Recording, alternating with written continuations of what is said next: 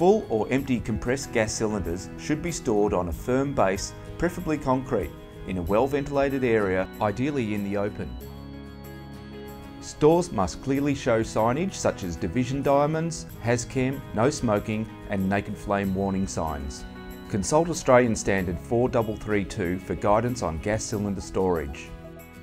Keep flammable gases away from sources of ignition.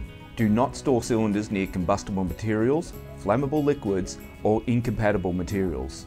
Fuel gases should be stored at least 3 metres away from oxygen cylinders.